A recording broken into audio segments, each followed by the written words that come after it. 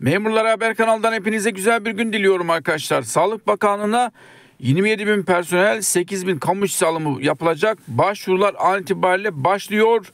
Kadroları şimdi size sunacağım. Ama kamu işçisi arkadaşlara bir güzel haberim var. Bildiğiniz gibi 696'lık kamu işçisi arkadaşlara tayin hakkı maalesef yok. İşte bu problemi aşmak için arkadaşlar bir platformla daha işbirliği yaptık. Nedir o? Hemen size göstereyim. Türkiye'de ilk arkadaşlar memur ve işçi becaiş uygulamasını yayına verdik. Tayinsepeti.com Bu videoyu tayin sepeti ile birlikte organize ediyoruz. Bilginiz olsun. Eğer tayin hakkınız yoksa ki 696 iş arkadaşlar maalesef yok. Tayinsepeti.com'a girip becaiş ile ilgili ilgili kısımları doldurduktan sonra karşılıklı becaiş yapabilirsiniz. 696 KYK ile kadroya geçen işçi arkadaşlar maalesef tayin hakkı yok. Dediğim gibi tayinsepeti.com'dan tıklayın girin ve becaiş uygulaması bu. Becaiş yapabilirsiniz karşılıklı bütün kamu arkadaşları özellikle tayin isteyen herkese tayinsepeti.com'a bekliyorum. Bu bilgiyi verelim. Şimdi videomuza geçelim arkadaşlar. Sağlık Bakanlığı'na 27 bin kamu personel alımı ve 8 binde sürekli iş alımı yapılacak. Mülakat yok. Sözlü yok. 27 bin alım ÖSYM üzerinden 8 bin alım Alo İşkur 170 numarasından ve İşkur Gov.tr web sitesi üzerinden bulunduğunuz ilden başvuru yapabilirsiniz. Şimdi detaylar birlikte bakalım arkadaşlar. Kamuya personel alımları tam gaz devam ediyor. Sağlık Bakanlığı 27 bin sözleşmeli personel alım yapacak. Başvurular an itibariyle başladı arkadaşlar. Adaylar 21 Şubat 28 Şubat 2024 tarihleri arasında ÖSYM'in internet sitesi üzerinden başvuru yapabilecek. Biri bu bir de 8 bin kişilik alım var. O İşkur üzerinden arkadaşlar karıştırmayın. Önce ÖSYM tarafına bakalım sonra İşkur'a döneceğim. Ünvan, branş ve eğitim e, düzeyine göre tabloda personel dağıtımı yapıldı. Sağlık Bakanlığı 15 bini hemşire, 2 bini ebe olmak üzere 27 bin personel için ilana çıktı arkadaşlar. Mülakat yok, sözlü yok. KPSS sonuçlarına göre yapılacak yerleştirme için adaylar 21-28 Şubat tarihleri arasında tercihlerini ÖSYM Gov.tr web sitesi üzerinden aday işlemleri bölümünden yapacak. Ayrıca 8000 kadrolu işçi alımı da ilgili şu an az önce açıklandı. Bakın burada da şu kadrolar var. Sağlık Bakanlığı 8 bin işçi alım için işkur başvuruları 23-27 Şubat 2024 tarih arasında yapılacak arkadaşlar. Kadrolara bakalım. Temizlik görevlisi, güvenlik görevlisi silahsız, klinik destek elemanı hastane, hasta karşılama yönlendirme görevlisi, elektrikçi genel, inşaat boyacısı, boyacı, marangoz, ısıtma ve sıvı tesisatçı, bilgisayar sistem onarım kurum ve arıza giderme elemanı, biyomedikal cihaz teknolojileri servis destek elemanı, Hayırlı uğurlu olsun arkadaşlar. Bu saydığım kısım kamu işçisi alımıdır. 8 bin kişilik alım. 23-27 Şubat tarihleri arasında yapılacak. Alo 170 hattı üzerinden ve İşkur Gov.tr web sitesi üzerinden başvurularınızı yapabilirsiniz. KPSS şartı yok bu 8 bin iş alımında. Mülakat yok. Direkt kura usulüne göre yapılacak. Kaçırmayın diyorum. Tekrar söylüyorum. Temizlik görevlisi, güvenlik görevlisi, silahsız, klinik destek elemanı, Hasta karış, karşılama ve yönlendirme görevlisi. Bu yeni bir kadro. Hani özel hastanelerde oluyor arkadaşlar. Özel hastanelere gittiğinizde sizi birbirleri yönlendiriyor böyle. İşte şurada bu var, burada bu var. Artık devlet hastanelerinde de bu hasta karşılama ve yönlendirme görevlisi alınmaya başladı. Bilginiz olsun yeni bir kadro. Elektrikçi genel, inşaat boyacısı, marangoz, ısıtma ve sıvı tesisatçı, bilgisayar sistem kurulum, bakım, onarım ve arıza giderme elemanı, biyomedikal cihaz teknolojileri servis destek elemanı. Bu saydığım kadrolar İşkur'dan başvuruları yapabilirsiniz. Alo 170 hattı üzerinden başvuruları yapabilirsiniz. KPSS şartı yok. Şimdi geçiyorum KPSS şartı olan arkadaşlar. Şimdi de bu 27 bin alımdan bunlar da KPSS puan üstünde göre yapılacak. Sağlık Bakanlığı Taşra Teşkilatı hizmet birimlerinden istihdam edilmek üzere 657 sayılı Devlet Memurları Kanunu 4. maddesinin B fıkrası ile 663 sayılı kanun hükmünde kararnamenin 45 bölü A maddesi kapsamında 27 sözleşmeli personel alım yapılacak.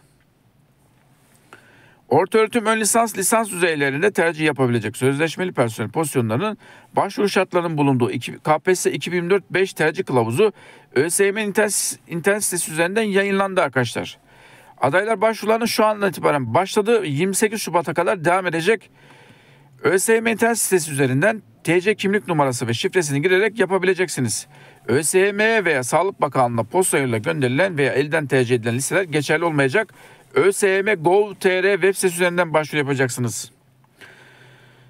Kadrolar ise şöyle arkadaşlar. Biyolog lisans mezunu 20, büro personeli 304 lisans mezunu, çocuk gelişimci 40 lisans mezunu, diğer teknik destek personeli, istatistikçi 25 kişi lisans mezunu, dil ve konuşma terapisti 40 kişi lisans mezunu, diyetisyen 250 lisans mezunu, ebe 2000 lisans mezunu, fizyoterapist 400 lisans mezunu, gerontolog 150 lisans mezunu, hemşire lise mezunu ve lisans mezunu. Toplam 15 bin kişi alınacak arkadaşlar. Tekrar söylüyorum.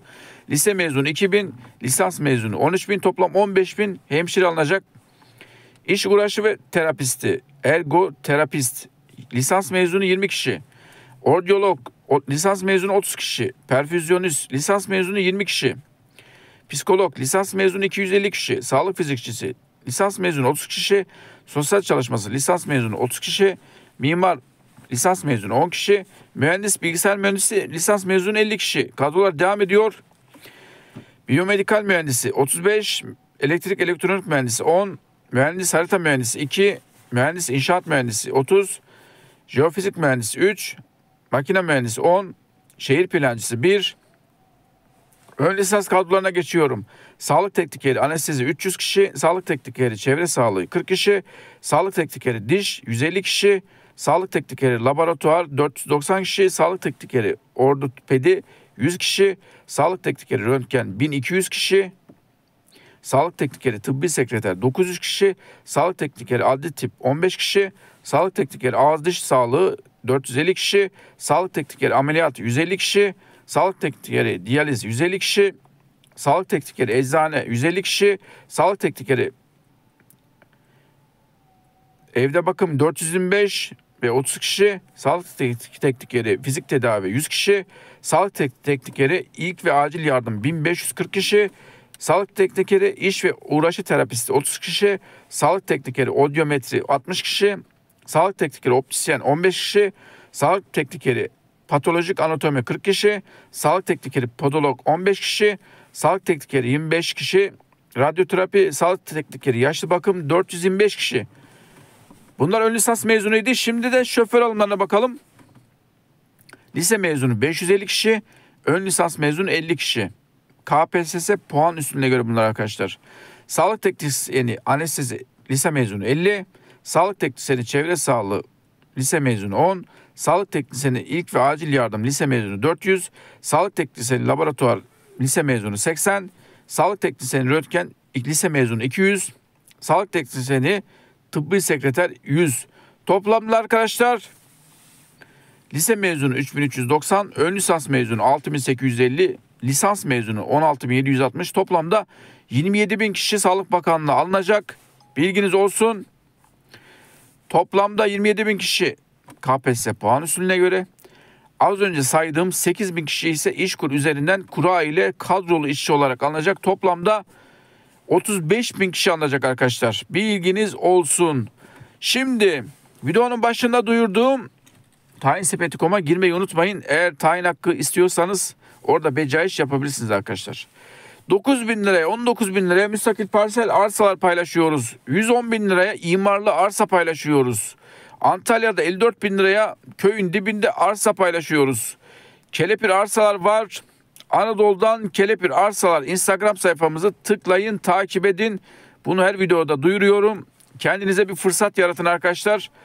Geleceğiniz için çoluğunuza çocuğunuza arsa bırakın. Kelepir fiyata müstakil tek tapu arsalar paylaşıyoruz. Kaçırmayın, kaçırmayın, kaçırmayın.